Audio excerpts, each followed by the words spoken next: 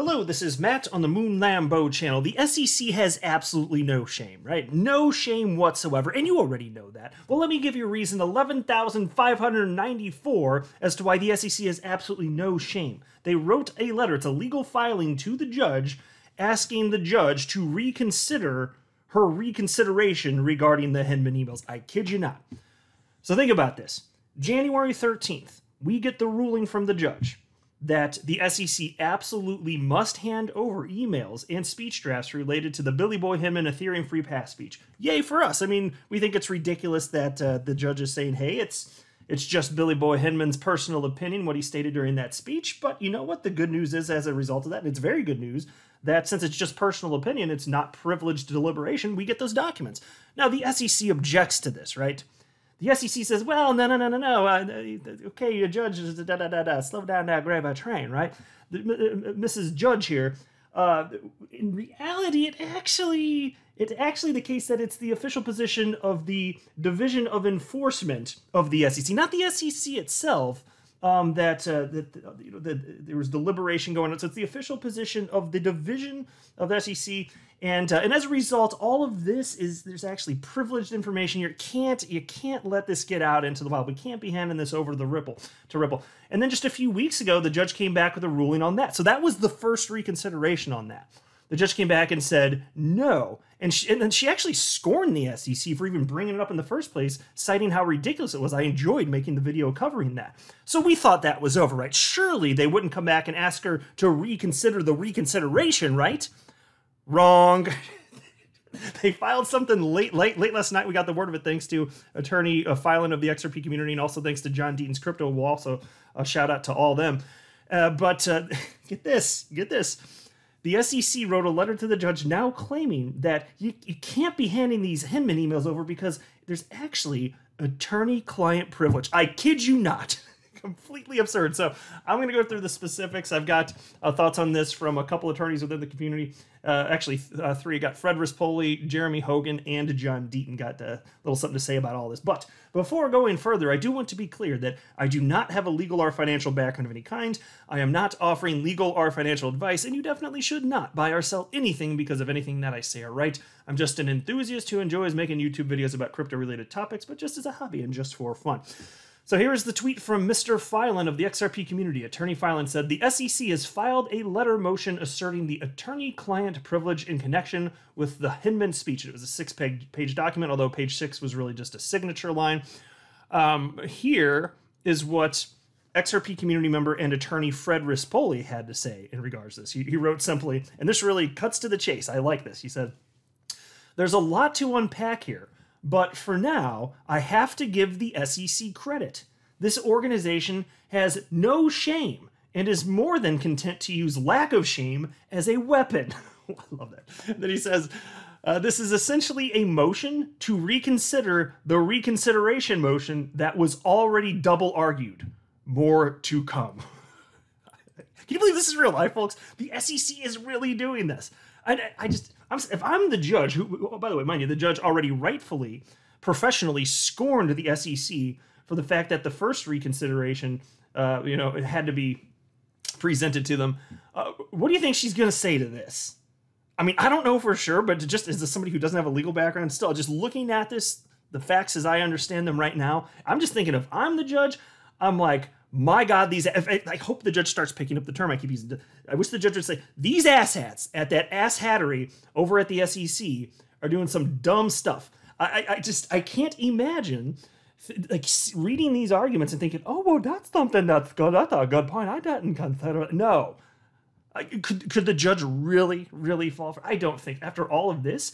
And attorney Jeremy Hogan, who of course runs the very popular YouTube channel Legal Briefs, uh, he had something to say, and I want to share with you his thoughts. Uh, he wrote the following just a few hours ago today, all up on the Twitters. If you are really interested in attorney-client privilege, then by all means read on. But just know you are a little messed up in the head. Smiley face. Well, I guess I'm a little messed up in that. I mean, uh, fair enough. I mean, I, I run a YouTube channel that I uh, run literally daily, with rare exception to that, and I call it Moon Lambo, so there must be something wrong in the noggin. But anyway, he continues. Attorney client privilege requires three things, and the SEC is going to have a problem with all three of them in this motion. Number one, attorney client privilege requires a communication between an attorney and a client. Sounds basic, right, guys? And then he says, was Hinman a client of a zillion different lawyers and non lawyers who apparently gave input on the speech? If the speech was just his personal opinion, was he even a client of all these lawyers? See, so already right there, uh, the, the, the, the answer is obvious, right? Of course he's not a client. He's a director at the SEC. There are people under him responding to this, and, and, and Jay Clayton had some input as well. He's above him, obviously. Uh, no, he's not a client of his coworkers. Right? Does it need to be said even? Apparently, the answer is yes. That's where we are right now. The answer is yes. We have to state these obvious things. Jeremy Hogan continues. Number two, attorney client privilege requires the communication be made in confidence. There were 68 emails related to this speech. The thing I don't think we know did all of the emails remain with the SEC?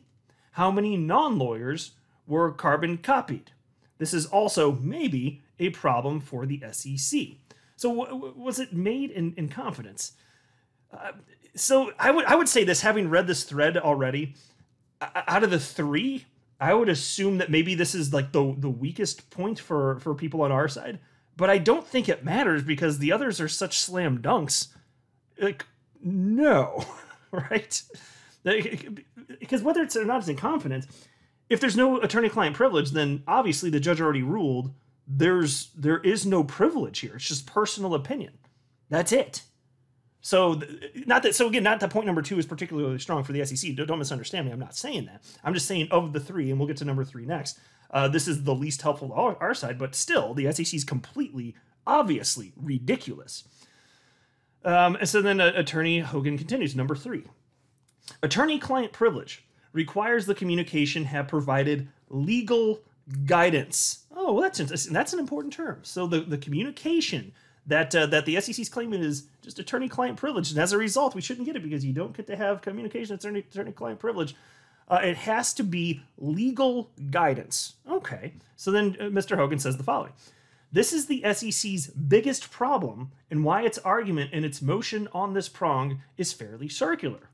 The case law that the SEC is relying on is clear that policy discussions are not legal guidance. So, folks, what was discussed?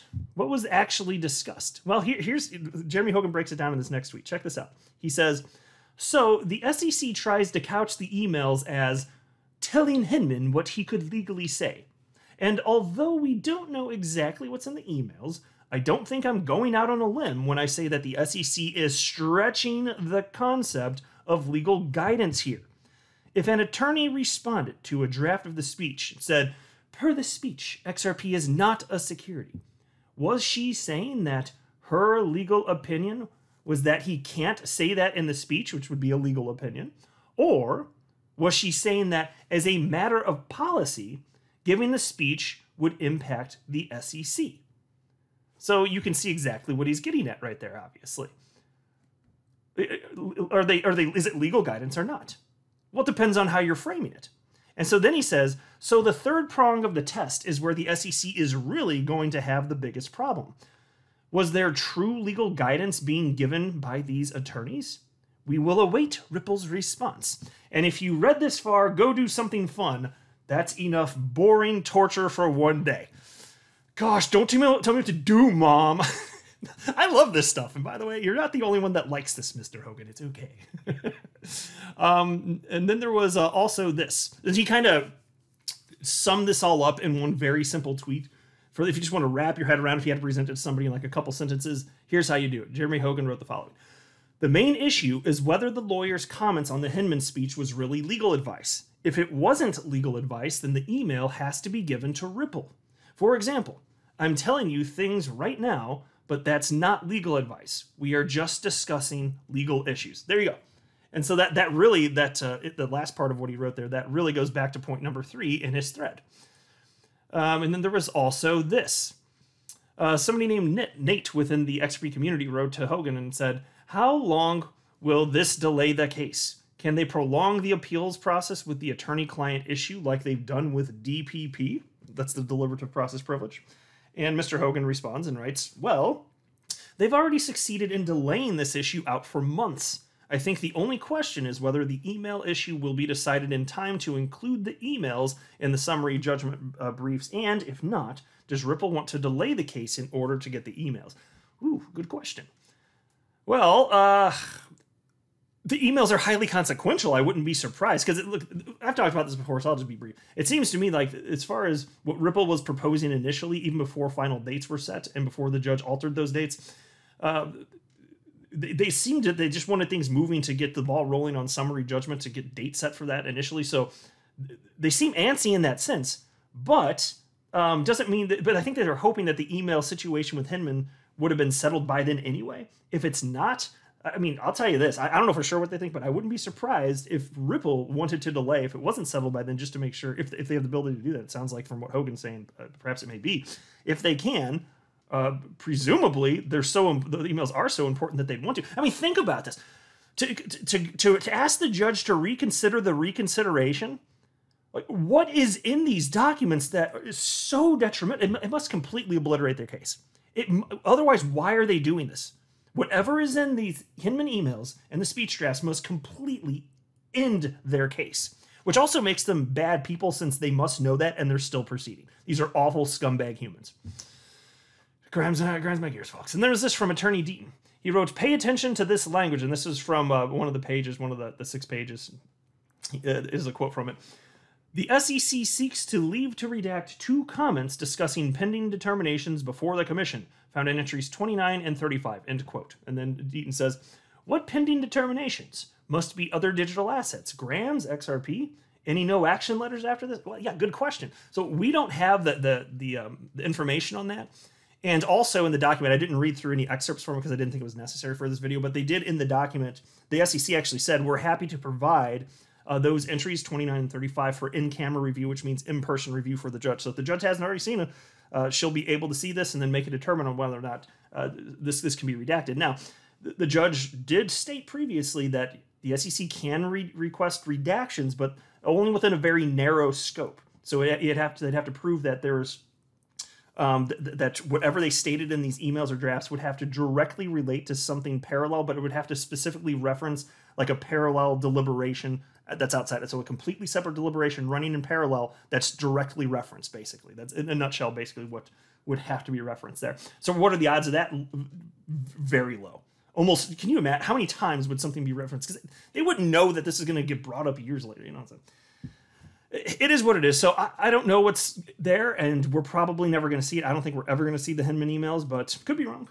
I'd, I'd love to see them. I'd love to know what they've been trying to hide so desperately for so long, but I'll wrap up there. I'm not a financial advisor. You should not buy or sell anything because of anything I say or write. That would be a very, very, very bad idea.